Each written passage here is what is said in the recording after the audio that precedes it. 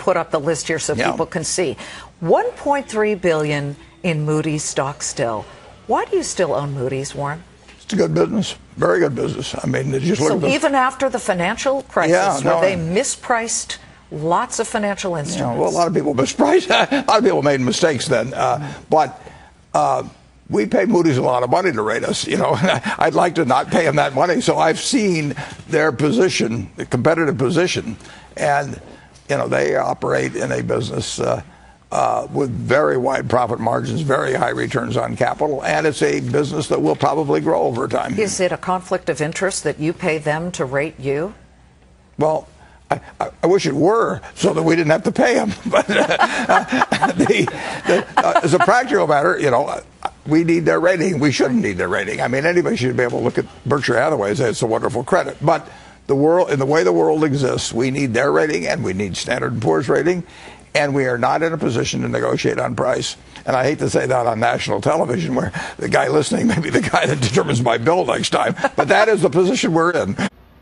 Yeah, we don't want to go into too much detail about uh, invest, mar- our marketable investments, but I would say that the moat is, just in our view, uh, is far wider, deeper, and and infested with far more poisonous uh, characters in the case of Moody's than in the case of the operating company. It, uh, if you've had experience just in terms of making decisions about how you either obtain credit information in the case of the operating company or if you uh, or if you want to obtain ratings on securities or something, I think you'd conclude that that Moody's uh, is a much stronger franchise than the operating company. Doesn't mean the operating company can't turn out to be a better business. It might have more upside under certain circumstances too. But if you're really thinking of, you know, what bad can happen to you, I think that you would regard Moody's as a considerably stronger franchise than the operating company. Charlie? Uh, well, I certainly agree. You've been um, slowly and gradually reducing your stake in Moody's by about 25%. You now own about 13% in the company. We, we still- sold down from 48 million shares to about 30 million shares Right. over the last year. Does that reflect a lack of confidence or a growing lack of confidence in this company? It means that I think that what was once a bulletproof franchise may not be bulletproof. It's still it's still quite a franchise, but whether it's bulletproof or not, we'll find out in the next year. what would trigger you to eventually sell out of Moody's? Well, that would be price, alternative investments. I mean, we we sold based on price. We sold based on other things we can do with the money. okay. Um, and so what you're saying essentially is that the moat around Moody's has basically gradually eroded, The right? moat is the moat is there, but there may be somebody comes along and sandblasts it. At any point, would you buy into Moody's? Would there be anything that would that would there's a price at which I'll buy almost anything, and, but I, I mean it isn't going to happen soon. But uh, uh, no, uh, I don't preclude buying or selling anything. You've said they're not bulletproof as they were 10 years ago. You still hold a 13% stake in Moody's, which you've been selling off quarter by quarter. Uh, are rating agencies still an attractive investment? Well, they may be and they may not be. It depends on what comes out of hearings like this and, and the legislative process. They had a, a bulletproof franchise, and they still have an unusual franchise. And the question is whether it gets changed in some material way. And that the only way it will get changed is by is, is by some kind of governmental action. And I don't know whether that's coming or not. Do rating agencies and the model that they operate under need, need to change, Warren? Well, I think they've generally done a fairly good job, but I think they're limited in what they can do. I, I do not follow rating agencies' ratings. I, I, I come to my own conclusions about credit, but I don't follow stock pickers' recommendations either, or uh, equity recommendations. Uh, I think they have some utility, but I don't think I don't think anyone should think that a rating of say double A today means it's going to be double A 10 years from now. Where's the social utility in rating agencies? And you know, Charlie Munger talks about, and you talk about social utility a lot. And the CEO of Moody's just said in there, "Well, we give these ratings to the public for free." But what they also did is not just Moody's, Fitch, and S&P, and rating agencies across the country rated absolute junk with the highest possible rating they could. If you look at the record in mortgage-backed securities rating, it's a disaster.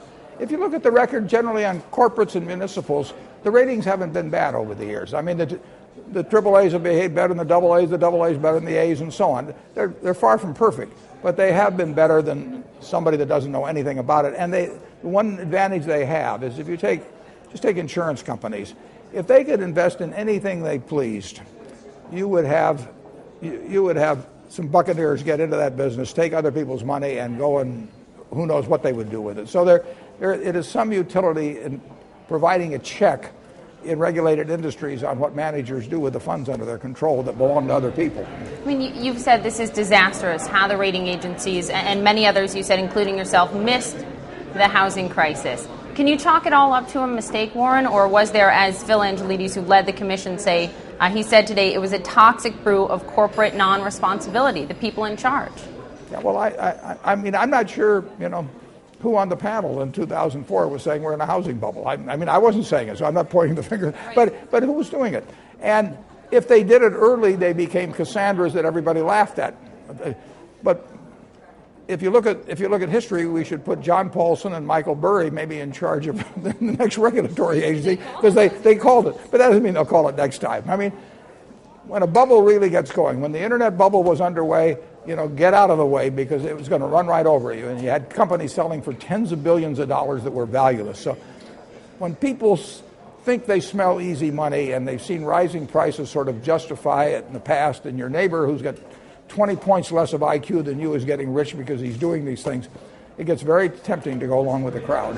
You faced some questions in the hearing, Warren, and honestly some heat about your responsibility being a 13% uh, stakeholder in Moody's. What do you think your responsibility is when it comes to a company like this? Well, I don't, I don't think I can manage Moody's, and I don't, I, and I think that Moody's generally, I, I think they were way off on the real estate bubble, and I think that Congress was, and I think Freddie and Fannie were, and I think the media was, and you just go up and down the line. 300 million Americans thought house prices couldn't really collapse, and we were all wrong, and I think they were no better than the rest of us. Are you a believer in the government stepping in as Senator Al Franken has proposed when it comes to the rating agencies and having the government assign rating agencies to different firms and their products? I'm not sure how that would work. I mean, I, I don't, I, I have no reason to think that would improve the Really? improve the system. No. Might it get in the way? I just don't know. I mean, uh, I, I'm not sure how whether you'd have 20 rating agencies and somebody in Washington spinning a wheel, you know, as to which one gets assigned. I, I just, I, I, I, I don't know of any institution I can think of to set up that will rate things better than Moody's and Standard and Poor's.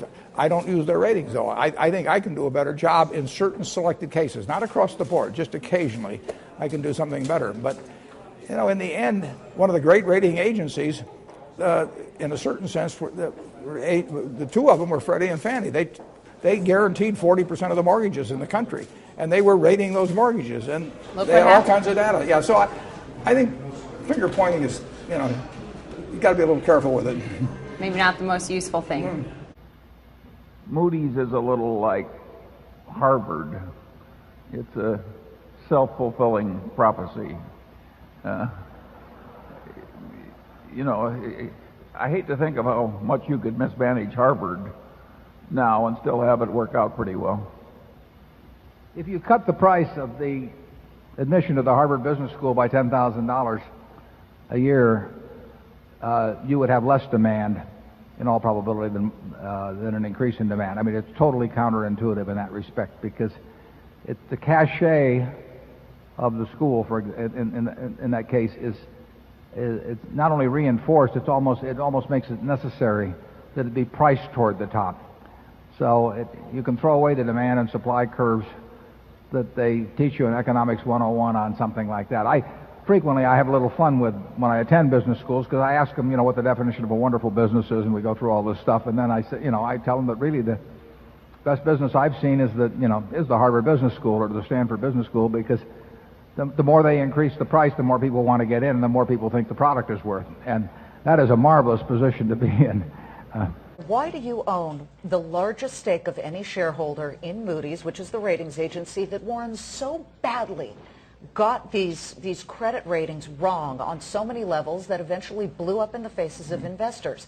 You being the largest shareholder, what was so attractive to you about Moody's when you don't even use their product? Well, well, we, we, we are forced to use it in terms of our own ratings. I, I don't use it in terms of making my own credit judgments about other credits. That's And- what I'm talking and, about. And 10 or, 10 or 12 years ago, uh, we bought Dun & Bradstreet, which consists of two really good businesses, Dun & Bradstreet and Moody's. Moody's being the better business because Moody's basically uh, earns extraordinary returns on invested capital. It has a freedom to price, and it's got a wonderful uh, business. And, and uh, That's why we, and Dun & Bradstreet does a good business too, so we bought it 10, 10 or 12 years So it's ago. just purely, look, I don't smoke, but I own Philip Morris kind Right. of decision. Okay, Right. that much I get. A lot of people here today are saying that the business model is so conflicted at these ratings agencies, specifically Moody's, where it's issuer pays, meaning the very business or product that is getting rated, that's the organization that pays Moody's to rate it. Should the business model be changed? It's pretty hard to change it, Liz. I mean, just imagine if you're my, you know,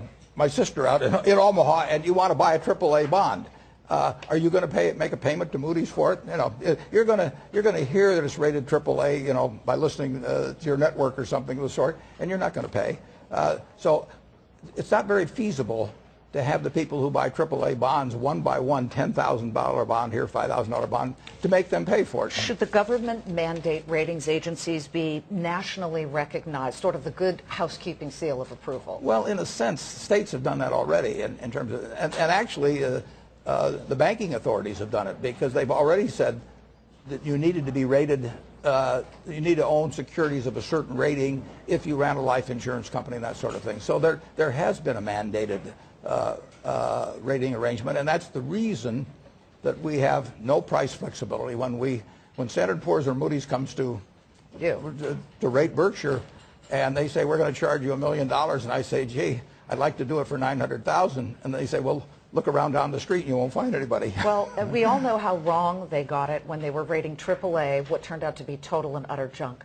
Uh, Warren, do you think that the ratings agencies are culpable for the financial crisis? no, I don't think they're the, the, the ma- major responsibility, but I, I think they participated in it just like everybody else that had this notion in their mind that house prices couldn't go down. You being the largest shareholder of Moody's, would that make you knowingly or not complicit in, in helping to unwind the financial system? No, I don't think so. But, uh, I, I'll give my opinion about any societal matter, and re, you know, I, I don't think I don't think smoking's good for you, but I've owned cigarette bonds. The dirt inside is that they're going to quickly move at some point from the Moody's investment to your $5 billion Goldman Sachs investment. Are you going to answer questions about I'd, Goldman I'd, Sachs? love, I'd love to. I'd love to. And you will say you don't regret that at all in any way, shape, or form. Oh no, no, Do you regret owning Moody's? No. I, I, I mean, we, I, regret not selling it a couple of years ago. But if I'd seen this coming, they didn't see it coming. I didn't see it coming.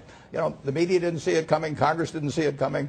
Basically, the American public got this notion in their mind that house prices couldn't fall. There's a, a whistleblower named Eric Kolchinsky who will be testifying in there. And the whistleblower is going to say that he was pressured to uh, give better ratings so that Moody's could maintain market share. Did you ever know anything about that? No, I never heard of it. Does But it surprise you? But I would, uh, well, I would doubt it yeah, that because, in, in effect, I need Moody's and Standard and Poor's.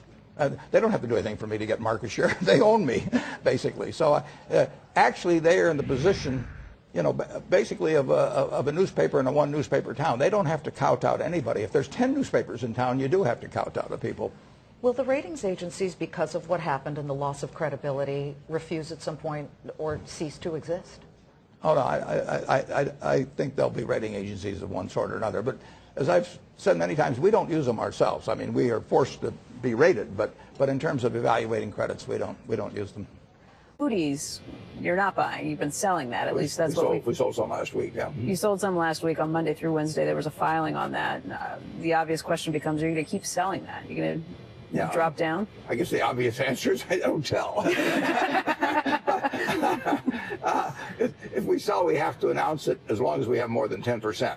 And then if we get to 10%, we don't have to announce it after that. Uh, that I mean, we don't have to announce it very quickly Publicly. after we do it. Yeah, uh, we have to announce it. So there would be an advantage to owning less than 10% because then you're. Yeah, but you know we've we've done. I mean, we're selling Moody's at six times what we paid for it. Um, Okay.